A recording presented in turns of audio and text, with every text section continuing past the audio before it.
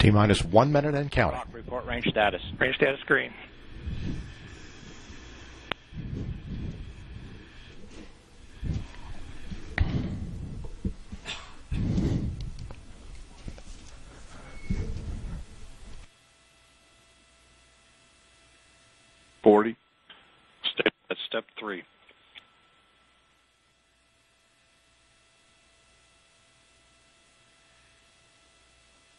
T minus 30 seconds and counting. 28.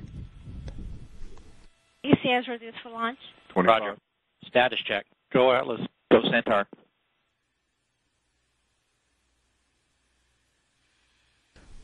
T minus 15 seconds. T minus 10, 9, 8, 7, 6, 5, 4, 3, 2, 1. Main engine start, zero. And liftoff of the Atlas V with Curiosity, seeking clues to the planetary puzzle about life on Mars.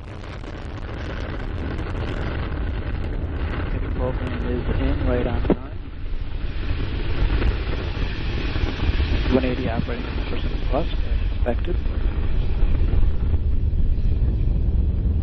And throttling down to 76%. Program complete. And MSL is now breaking the sound barrier. SRB chamber pressures following the nominal curve. Everything looking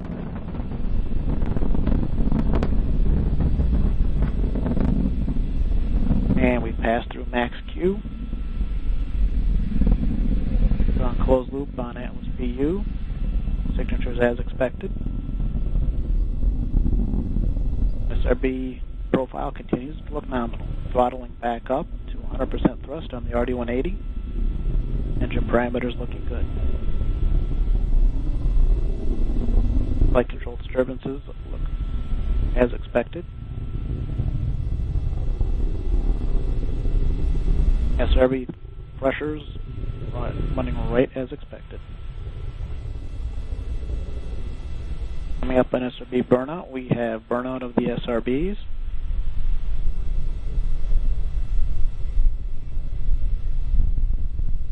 Everything is looking good.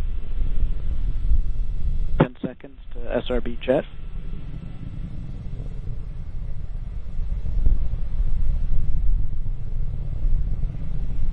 And we have first pair and second pair. Both sets of SRBs have successfully jettisoned the vehicle. We've re-enabled guidance. Everything is looking good. This is Rob Gannon, our United Launch Alliance telemetry manager. We're hearing. Vehicle is now 32 nautical miles in altitude, 54 miles downrange, traveling at 4,900 miles per hour.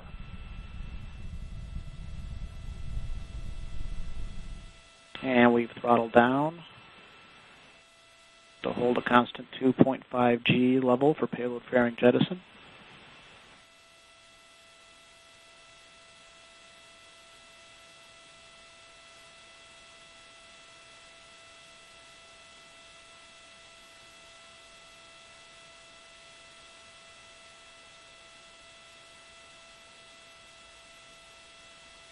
And we fired the pyro valve, pressurizing the RCS bottle.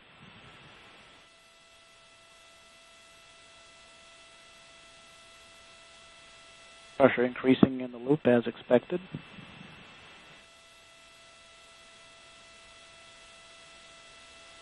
Now we're hitting our 2.5 G limit coming up on payload fairing jettison, approximately 10 seconds.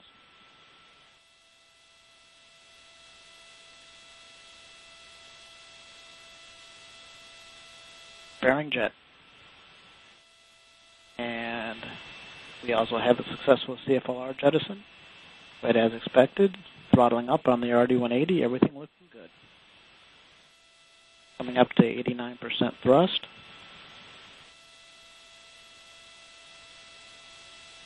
And we are now entering our constant 4.6 G acceleration throttle phase. Everything looking good. We've started boost phase chill down. Housing temps are responding.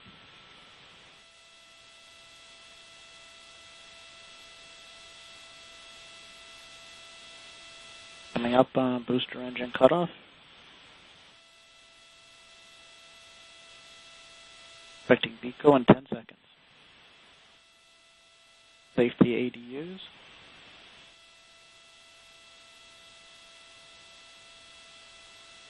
We have BECO, retro rockets, and stage separation. We have pre-start on fuel and LOX.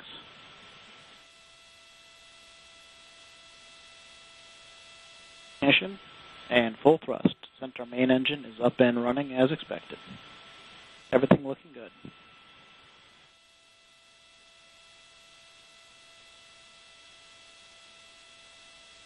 Steering has been enabled. We have sent our PU to fixed angles, right as expected. And we've begun our reaction control system thermal conditioning firings. Everything looking good.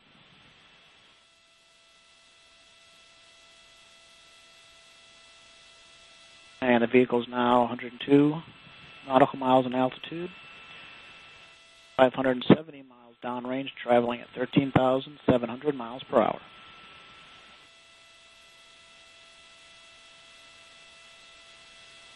And we're now in the early portions of a nearly seven minute first burn of Centaur. Engine continues to operate normally, good steady state operating pressures.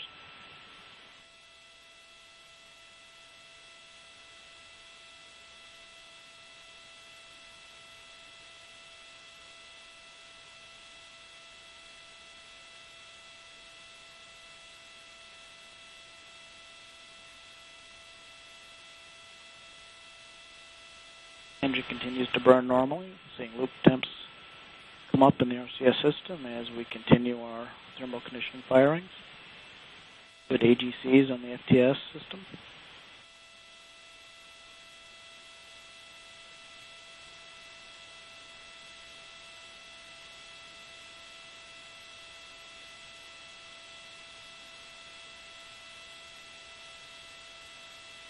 Approaching RF disable.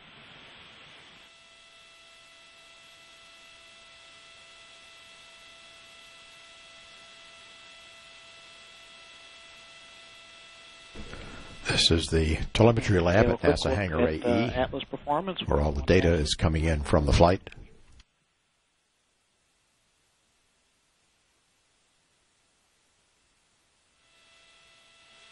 And we are rolling to TDRS. Acquisition now through the Tracking and Data Relay Satellite System, TDRS East.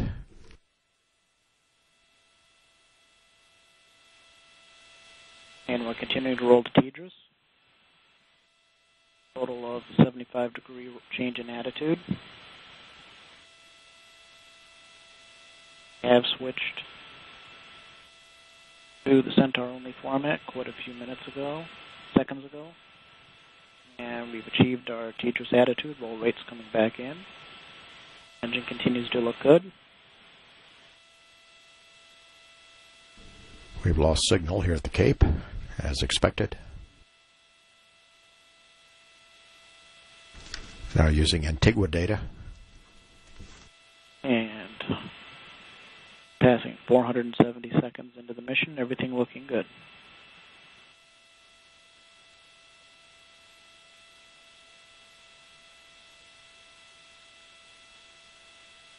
And the vehicle is 150 miles in altitude, 1,250 miles downrange, traveling at 15,000 yeah, 15,000 miles per hour.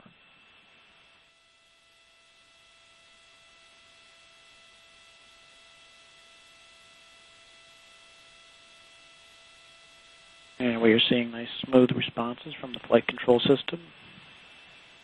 Body rates are smooth and very close to zero.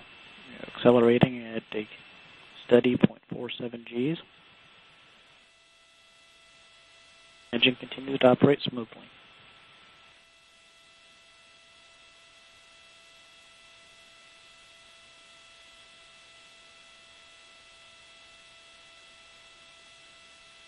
And Centaur PU is in closed loop control, but uh, continues to ride the stop as expected.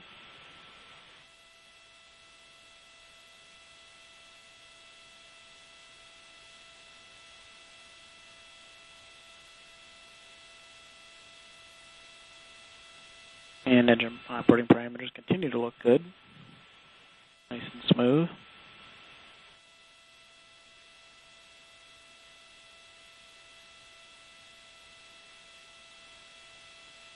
Centaur engine cutoff coming up in two minutes. We are two minutes to MECO 1. Vehicle's uh, 151 miles in altitude, 1,648 miles downrange, traveling at 16,100 miles per hour.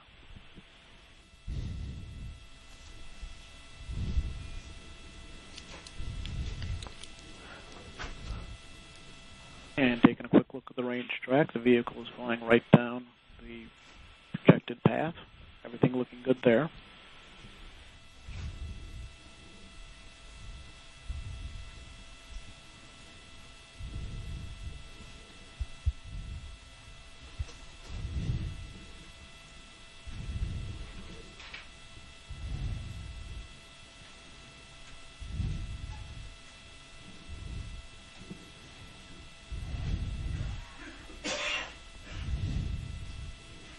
We are now one minute to a nominal MECO 1. Expecting an IP vanish in approximately 40 seconds.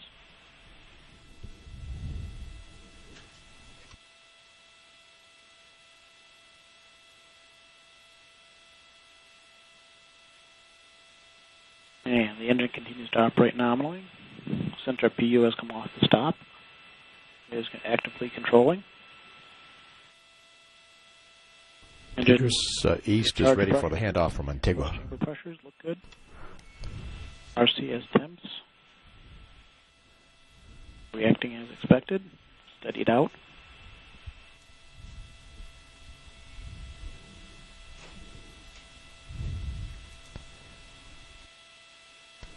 Ten seconds to MECO one. We have cut off. Normal shutdown signatures. We have 4S engines on as expected. Cutoff was right on time. Handing off now from safe. Antigua to TDRS East.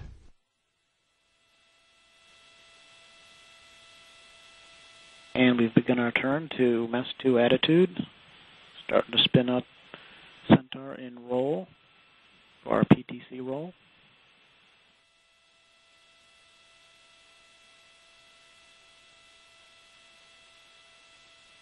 Taking a quick look, tank pressures are right as expected. Helium storage bottle pressures over 3,000 psi looking good. Main battery voltage looks good.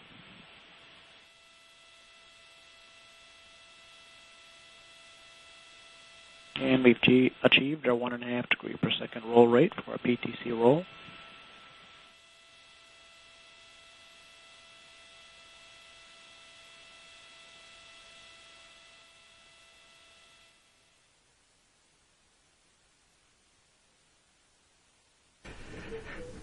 This is Atlas Launch Control, 12 minutes 45 seconds into the flight. We had Centaur engine cutoff right on time at T minus, or rather T plus 11 minutes and 30 seconds. And we are now in a parking orbit of 102 by 201 nautical miles. And we are underway with a 19 minute and 35 second coast phase, after which the Centaur will come up for a second and final time for an eight minute burn to put it on planetary trajectory. We're going to show now some of the different camera angles of the launch of the Atlas V from different vantage points around Kennedy Space Center and Cape Canaveral Air Force Station. And uh, we should have uh, uh, several different shots that uh, will present different vantage points that uh, will be particularly uh, unusual from the standpoint of uh, cameras that we have not used in the past. So we will begin uh, right now with the launch replays.